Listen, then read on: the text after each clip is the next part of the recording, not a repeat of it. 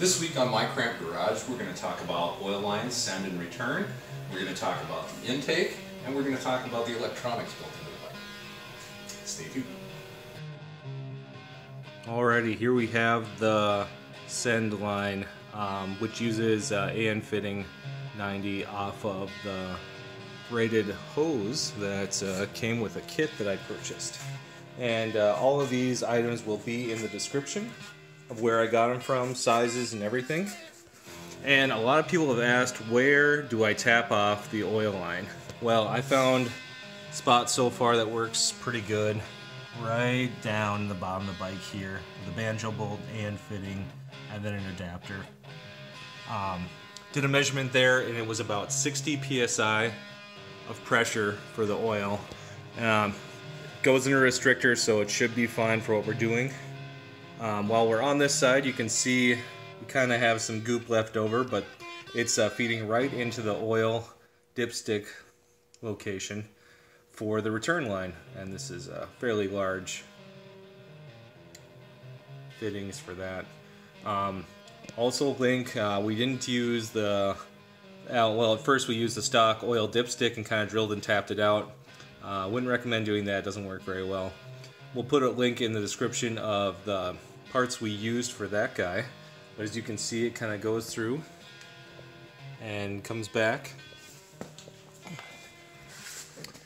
and goes right into the bottom of the turbo there. And you want to try and keep that flow and drain slanted so that it drains properly. And that can be probably pretty tricky. You'll notice it's really close to the exhaust as well. We haven't had any issues yet, but uh, you know, fingers crossed on that. So you can see here's the finished intake. We used the stock bolt holes and kind of just fabbed up one. And we had to do some reinforcements on the welds in order to keep it from breaking apart and having issues. And you can see uh, the coupler there is actually a radiator hose that we used. Uh, since the size is about an inch and a half, it was tough to get the right size going. Now we're just going to take uh, the intake off and show you guys uh, um, how we uh, constructed that and what it looks like when everything's apart.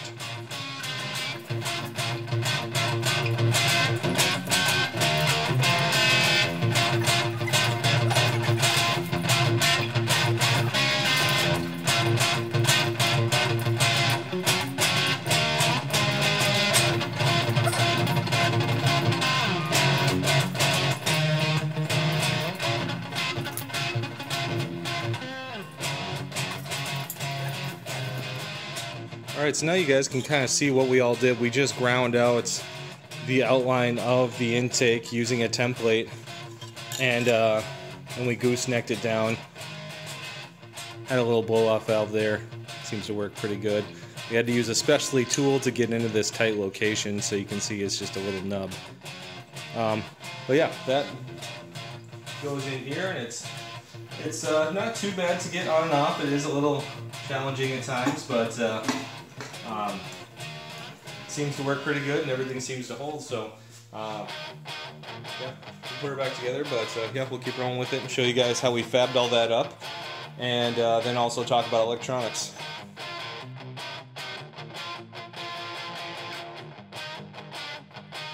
Here you uh, can see me getting ready to try and TIG weld the intake manifold. I do mention try because I'm not a great aluminum welder. I do have an AHP uh, welder that I've been practicing on, so we won't be seeing a whole lot of me uh, attempting to TIG weld, uh, just because, uh, yeah, my techniques are not great and they should not be a model of, of anyone's doing. Um, with that being said, you can kind of see that I'm prepping up the surface, getting it ready nice and clean. I'm trying to clamp everything together because when you TIG weld things, the heat will cause it to expand really bad and uh, just wreak havoc on what you thought was square is no longer square and all that jazz. So, um,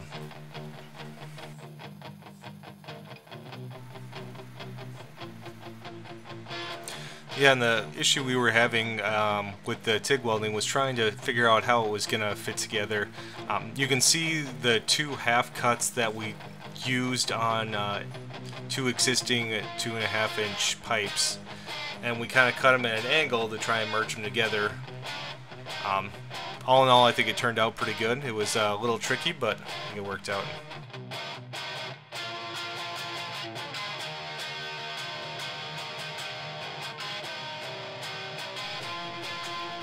The plate that is mounted to this um, that you saw in the beginning video, uh, we're not going to show a whole lot of that because it was a very slow process of milling it down and trying to get it to fit.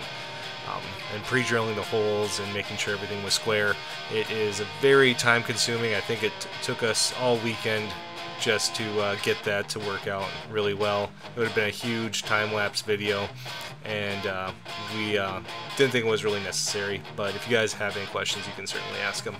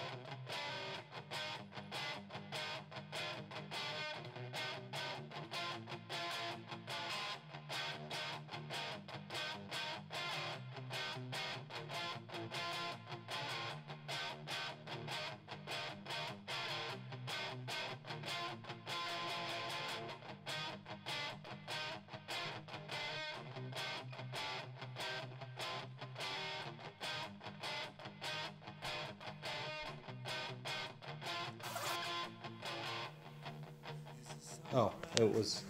We, I forgot to hit play, but. Oops. so you'll see right there we installed a map sensor. This is the Bosch map sensor that um, that Power Commander recommends. It seems to work well with their stuff. Um, underneath the seats, you'll see a pretty big mess of wires. We have uh, 12 volts. Or wait, this is the ground wires. These are the 12 volt wires. Um, then we have a little step down transformer that takes from 5 to 12 volts and that you need to run the map sensor. Uh, kind of messy right now in the process of being cleaned up but uh, we also had the addition of the wideband too. Um, the, bike, the, the bike came with uh, the DynoJet already installed on there and that's kind of the reason I went this route um, just for cost reasons, I guess. Just keep adding on to what there was. So if we follow that down, it comes with a wideband sensor that we installed here. Uh, and it also has an output on the wideband too that'll feed back into the ECU. Um, so that's worked out pretty good. We haven't had any issues with that. And uh, yeah, it's worked and started and ran really well. So can't complain there. All right, and a couple of people were wondering about this over-the-top intake that uh, we made. Uh, just a custom bracket that I put on there. The original one was, right yeah, right here. This is the original guy. And the idea was uh, maybe we're choking it out a little bit, you know, comparing the two. So we had this available, threw it on there, uh, just to see what would happen. Um, haven't really noticed much change. Um, but it's also, you know, kind of more butt dyno right now at this point. So we took a drive over to Dale's place to uh, say he's got something he wants me to check out. And we're going to see what it is once he gets his opener. We spent a lot of time in Brian's cram garage. This is my cram garage. And the reason we're here is I wanted to show you this. A 1982 Honda 650 SC.